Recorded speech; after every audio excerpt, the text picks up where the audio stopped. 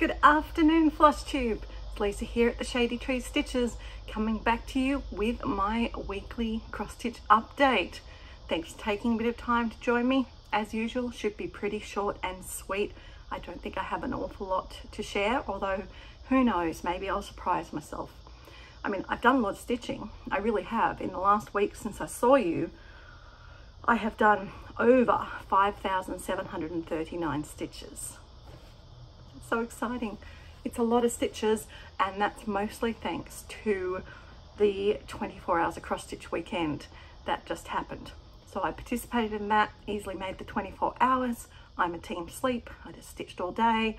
Um, and I got 1,758 stitches done on Saturday, which was good. Today, today is um, Monday in my time. It's currently Monday, the 24th of January 2022. And so I um, didn't get nearly as much stitching done yesterday, but it's all good.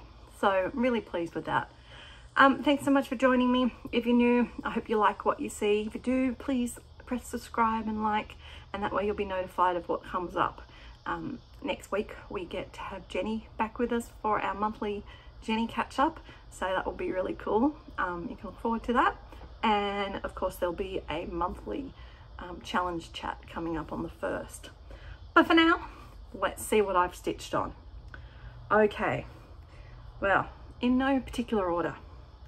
I was working on the pieces for my WIPGO that I hadn't got to and I re-gauged my WIPGO goal down to 1011 stitches so that on each WIPGO board I'm going to achieve 2022 for 2022 um, each in each one and I've got three boards sort of a small medium large bap um, so on my small board we had samurai. So that's my samurai.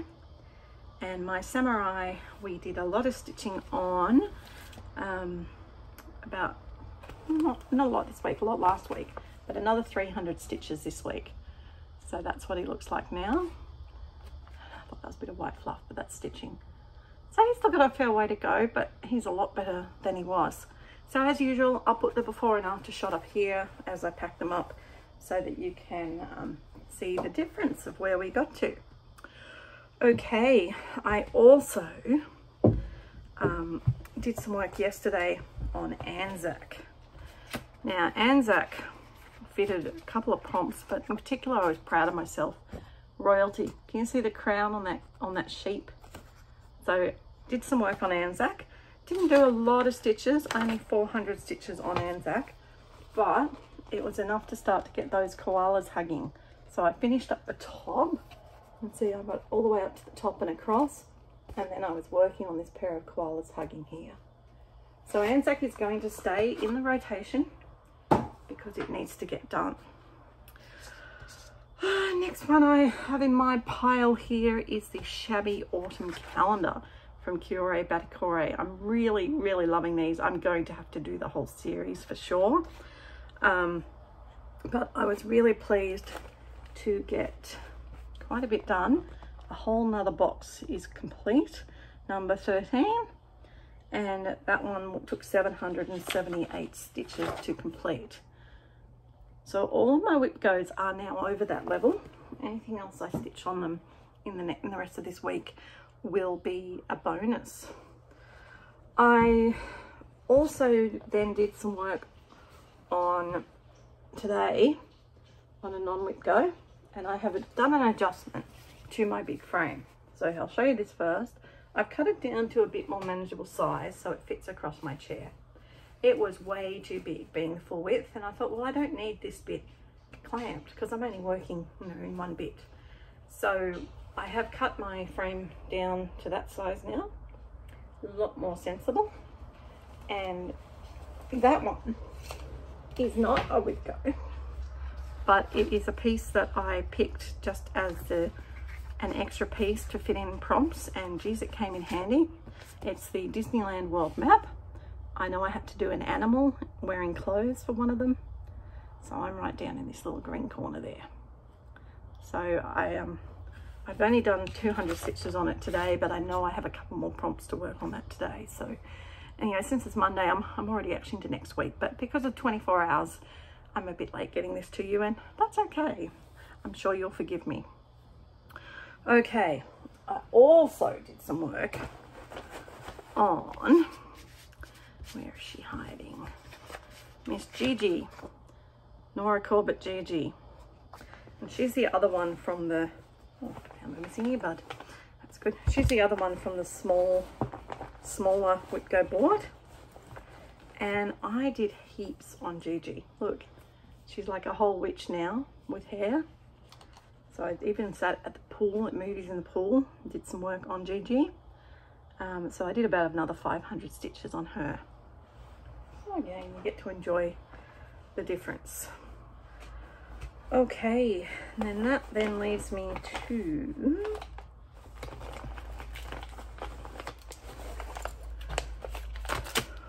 three more pieces.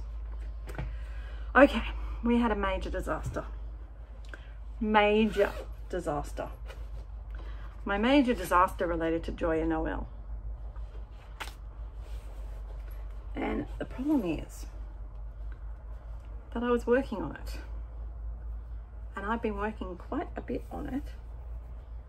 I've Been doing lots and lots and lots on it. And I have gotten up to here, which was 1399 stitches. And then I realized that that was the size of my fabric. And this angel here does not belong. So I'd have to frog all that section there and then there'd be a middle section and three more angels. Can you see the problem? I think somebody was a bit of a goose. I stitched it the wrong way. So I have had to use my freebie in No New Starts and I have had to restart because restarts are not allowed this year unless they're a freebie. Restart my Joya Noel. Now my Joya Noel restart though, I restarted in the middle. And this is, I'm doing on a piece of 36 count linen in minty color from Paddock Lane Designs. Just rather convenient when I realized last night that I just happened to have a fabric shop out in my backyard. So I popped out and decided to do it on 32, 36 count and I'm liking it. So we're gonna start in the middle and see where that goes. So that will probably get a bit more love um, a bit more love as we progress. I should say while I'm digging in here, um, this is a bunch of really nice donations that came in um, for the No New Starts. So if anyone else out there um, in Australia has got charts that are in good quality or anything they want to get to pass the stash, um, feel free to reach out to me because No New Starts is looking for prizes to give away. We're having so much fun. Leg one is almost finished. Um, and so we're going to be heading to going to be heading very quickly into leg two and that's going to be super fun. All right daily 30 and my friends getting me to work on cross stitch nation sal 300-ish stitches a week. Um, I actually did 342 on it which gave me all of Rachel's clothes. And I'm using the cottage garden threads and these are a nude set so they don't have names but can you see that it looks like Rachel's spilled, spilled something all over her pants? Uh, we're blaming Sue who's this one for spilling bleach all over Rachel's pants because we're having fun with it. So that's how my cross stitch nation's going and you get to see that improve each um, fortnight on Laurie and my week uh, well challenge chat that we're doing every fortnight. Okay one more piece only one more piece to work on and that is the temperature bookshelf um, which I am doing my um, my stitching count progress. It is starting to look really good. Lots of different colors happening. So there we go. More than halfway through January. So I'm really thrilled with how that's progressing. All right. So that my friends is my stitching. Under 10 minutes of stitching for you know really over 6,000 stitches. It's been a really good week of stitching. Lots of fun, lots of zooming um, in Fun group as well as in No New Starts. And as I said, No New Starts is just rounding off leg one I'm getting ready to crank up for leg two. I am loving the other games I'm playing at the moment. They've been just resting, Utopia and Survivalist Stitchiest, and they are just about to ramp up again. Survivalist Stitchiest has had a bit of a re rejig on things, so I've got to get my head around that. And Utopia, we're just just this morning going heading looking for some lost children. So we're going on a bit of a journey. So it's one of those story journey ones, and it's um, lots and lots of fun. Okay, so there's two more pieces I've worked on and I did quite a lot of work on these ones too to complete them for the WIPGO. One of them was a Once Upon a Fairy Tale and it's um it's got lots of things in it. I know I did it because there was a boat down there and this one I'm really pleased with how I'm progressing because I think I'm going to actually be able to do this as a bit of a major colour scaffold. So I was just doing the black along here. But you can see that I'm getting this quite a big colour scaffold. So I think I'm going to actually big colour scaffold my way across the whole picture. So that's pretty exciting to have that one done. And then the other one that I worked on for quite a few prompts and in particular I had a couple of colour prompts where you had to use a particular colour was the world postage stamps from to Stitch and I completed a lot of stitches in white and in yellow I mean white and blue sorry so I was up there at the top working on Soul so that completes those ones for for their WIPGOs um, I'm not sure any of them are going to get any extra love but we will find out so that then brings me to my segment I keep forgetting to do, and I love it. And this is my Australian Word of the Week segment. It's for all the people overseas. And today I am just going to teach you that this, today's word is fair dinkum. Fair dinkum means it's good, it's real, it's valid, it's a good thing. So if you're fair dinkum, it means you're okay. It means that you can be trusted that you're, you're doing the right thing. So if anyone ever says to you that you're fair dinkum, it's a compliment. Okay, and if someone says you're not fair dinkum, then they may, they think that you're lying or not telling the truth or you're not all that you pretend to be. So that's your word of the week. All right, haul. You will notice there's not a lot of haul happening this year. I'm being good. But I did get my threads, thread clubs from um, Stitch in Time down in Tasmania, my Classic Colourworks, my Gentle Arts, and this combination, my weeks. So we're working our way through, we're up to the D's, the G's, and the D's. So that's really exciting. And then I just got another parcel in the mail this minute and it's my silks for you so let's open that up shall we